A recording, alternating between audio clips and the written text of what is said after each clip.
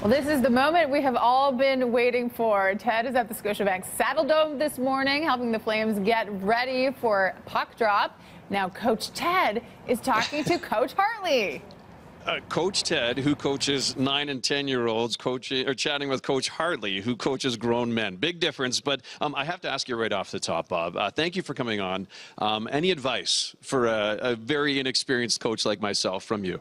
Just remember, it's a kid's game. Like even us, like we're coaching grown men, but you know, like it's a kid's game. You know, you have to have fun. You have to work on details and make sure that you're one of the reasons why they want to come back to the ring the next day. Smiling, right? The kids need to smile. All the time.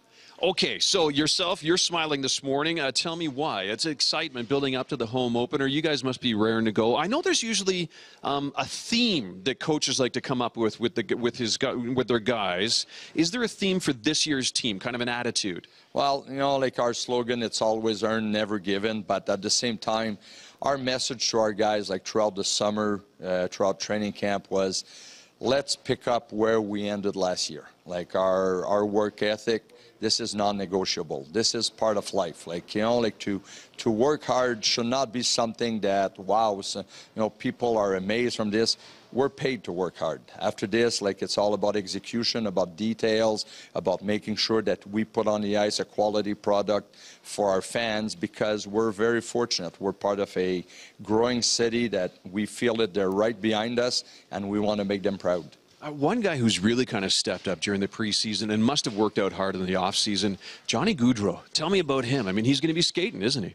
Yeah, like uh, Johnny is, uh, you know, like has been like, uh, you know, like a, a, real nice addition to our hockey club. Like, uh, you know, fought hard during training camp, made his way, and, uh, you know, like looking at this, I think he's a great example for all small players, like, uh, you know, for kids in minor hockey in Calgary that, you know, coaches or, you know, like parents are saying you're too small to play.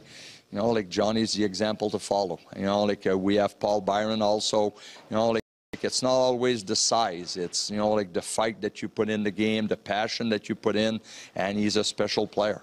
It's not always the size, the fight you put into the game. I'm going to tell you so much, Coach Hartley. Good luck this season. Good luck on Wednesday. We hope you guys all the best this year. Um, we're going to head back to the studio now, Tara. Look at that. A very, very experienced coach giving advice to a very, very rookie coach. And hopefully I can translate to the little guys when I hit the ice tomorrow. Yeah, well, it certainly applies to everyone. Ted, you're back in the studio tomorrow. And we want to remind people, catch it on Sportsnet if they can't make it down. But if they can make it down, cheer loud, right? Cheer loud, that's for sure. Get your tickets. It's going to be great on Wednesday. All right, uh, Ted, we'll see you tomorrow.